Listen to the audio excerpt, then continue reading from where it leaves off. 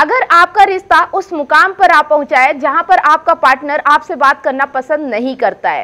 पहले वह आपसे बात करने के लिए तरसता था, लेकिन अब आप तरसते हो उससे बात करने के लिए। और वो अवॉइड कर रहा है। आपको समझ नहीं आ रहा है। एकाएक ऐसे कैसे चेंज आ गया? और इसको पहले की तरह रिवर्स कैसे करें? ऐसा क्या करें? सामने वाला व्यक्ति फिर से आपके लिए वैसे ही पागल हो जाए। तो आज के वीडियो में इसी टॉपिक पे बात करने वाले हैं।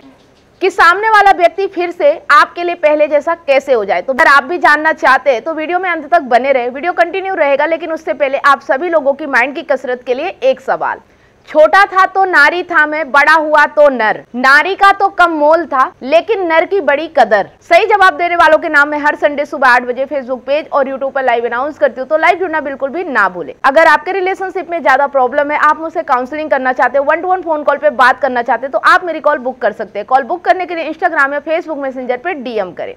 इसके साथ ही सप्ताह में तीन दिन मंडे वेडनेसडे और सैटरडे शाम आठ बजे फेसबुक पेज पर मैं लाइव आती हूँ तो आप मुझसे लाइव जुड़कर भी अपनी समस्या का समाधान पा सकते हैं। लाइव जुड़ने के लिए फेसबुक आईडी स्क्रीन पर शो हो रही है, आप उसे फॉलो ज़रूर करें। मैंने एक ई बुक लिखी है, रिश्तों की मार्गदर्शिका।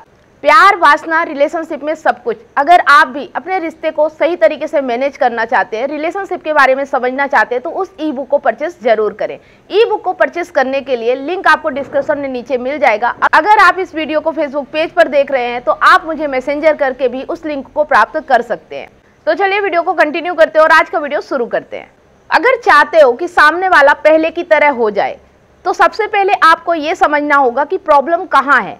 पहले अगर ऐसा था तो अब ऐसा क्यों हो गया है? तो देखिए, आप इस तरह से भी समझ सकते हैं कि शायद सामने वाला व्यक्ति आपको पाने के लिए बहुत सारी कोशिशें की।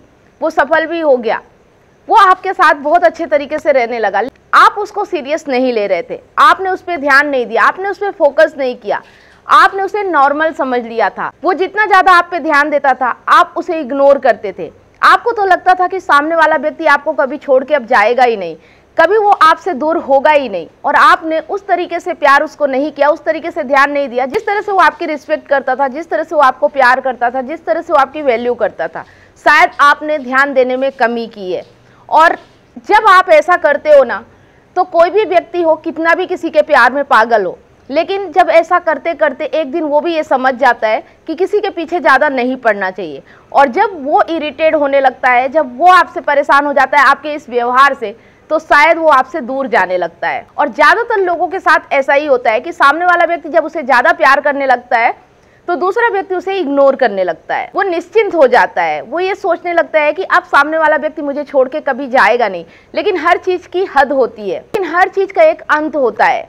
अगर आप किसी को ज़्यादा परेशान करोगे ना तो सामने वाला व्यक्ति कब तक परेशान होगा? कब तक आपको बर्दाश्त करेगा? एक दिन वो भी आपसे दूर हो सकता है और ये चीज़ें आपको पता नहीं होती और शायद आपके साथ यही हो रहा है। तो अपनी प्रॉब्लम को समझो और जो गलतियाँ आपने की है, उसे सुधारने की कोशिश करो। आप धीरे धीरे उस पर ध्यान देना शुरू करो। आप उसके लिए जो भी कर सकते हो अच्छा वो करना शुरू करो। शायद फिर से उसका मन आप पे लगना शुरू हो जाए। शायद वो फिर से पहले जैसा होना शुरू हो जाए। अब जब आपको समझ में आ गया है कि आपने क्या गलती की है तो यहाँ दूसरी बात कि आपको अपने उस गलती के लिए उससे सॉरी बोलना चाहिए, उससे माफ़ी मांगना चाहिए और सिर्फ़ सॉरी बोलने से काम नहीं चलेगा। आपको अपने बिहेव में, अपने व्यवहार में उसे लाना पड़ेगा, उसे दिखना चाहिए कि वास्तव में आप बदल रहे हो। सिर्फ़ कहने से काम नहीं चलता है, जो भी आप कह रहे हो ना, वो करके दिखाना होगा आप। जब आप अपने अंदर ये चीज़ें लेके आ जाओगे, अपनी गलती को स्वीकार करोगे, अंदर से समझोगे कि आपने गलती की है जब आप उसे सुधारने की कोशिश करोगे और जब आप वास्तव में बदलने लगोगे, जब आपके अंदर बदलाव नज़र आने लगेगा तो सामने वाला खुद ब खुद समझ जाएगा कि अब आप वाकई में बदल रहे हो। फिर वो शायद आपसे पहले जैसा हो सके। आपके एक्शन में दिखना चाहिए। जो भी आप उससे सॉरी बोल रहे हो, आपने जो गलती की है, उसको सुधार रहे हो, वो चीज़ें आपके एक्शन में दिखना चाहिए। तो ये कुछ चीज़ें हैं, लेकिन हर किसी के साथ ऐसा नहीं होता है। कभी कभी तो ऐसा भी होता है कि आप अपने पार्टनर के पीछे इतना पागल होते हो, उसके साथ रहने के लिए, उसे पाने के लिए, उससे बात करने के लिए कि आप अपनी वैल्यू खो देते हो। आप अपने बारे में ध्यान नहीं देते हो, सिर्फ़ उसी के पीछे पड़े रहते हो। हर समय उसके लिए अवेलेबल रहने लगते हो। वो जब भी जो बोलता है, अपना काम छोड़ के उस काम को करने के लिए तैयार रहते हो। तब भी सामने वाला व्यक्ति आपसे इरिटेट हो जाता है और आपसे दूर होने लगता है। या तो उसका आपसे मन भर गया होता है। या वो आपके साथ टाइम पास कर रहा होता है, कुछ दिनों के बाद का मन कहीं और लग जाता है, वो किसी और से टाइम पास करने लगता है। सकता है कि उसकी लाइफ में कोई और आ गया हो, उसका मन आपसे भर गया हो। अगर वो टाइम पास कर रहा होता है तो उसे कहीं और अगर टाइम पास करने का मौका मिल जाता है तो वो आपसे दूर होने लगता है। तो बहुत सारे ऐसे रीजन होते हैं जहाँ पे आपकी गलती नहीं होती है। यहाँ आपकी कुछ भी गलती नहीं होती है, जो भी हो रहा होता है, सामने वाला कर रहा होता है। लेकिन गलती आपकी तब होती है कि जब आपके साथ ऐसा सामने वाला व्यक्ति कर रहा होता है और आप फिर उसके पीछे पड़ जाते हो, गिड़गिड़ाने लगते हो उसे कहने लगते हो कि तुम मुझसे दूर क्यों जा रहे हो? क्यों मुझे इग्नोर कर रहे हो? क्या कारण है? आप बहुत ज़्यादा ही उसके पीछे पड़ जाते हो इस चीज़ को लेके। आप अपनी सेल्फ रिस्पेक्ट गिरा देते हो। जब आप किसी के पीछे प्यार की भीख मांगोगे कोई आपसे दूर जा रहा है तो आप उसको बोलोगे, दूर मत जाओ। इससे आपकी सेल्फ रिस्पेक्ट कम होती है और यहीं पे आपकी गलती होती है। वो व्यक्ति आपसे, अपने कारण से दूर जा रहा है, जहाँ पे आपकी गलती नहीं है, वहाँ किसी के सामने गिड़गिड़ाने की ज़रूरत नहीं है और यही गलती आप करते हो। आपको अपने आप को बेहतर बनाना है, अपने आप के ऊपर काम करना है, किसी दूसरे के पीछे भागना नहीं है। अपने आप को इतना काबिल बनाना है कि लोग आपको प्यार करें। आपको प्यार के लिए किसी और के पीछे भागने की ज़रूरत नहीं है। तो जो आप उसके लिए तड़प रहे हो, पागल हुए जा रहे हो, अपनी सेल्फ रिस्पेक्ट गिरा रहे हो, इन चीज़ों को समझो और यहाँ पे आप गलती कर रहे हो। आपके अंदर एक एटीट्यूड होना चाहिए। सामने वाला व्यक्ति आपके साथ जैसा व्यवहार कर रहा है, आपको भी सेम वैसा ही करना होगा। अगर वो कॉल नहीं कर रहा तो आप भी कॉल मत करो।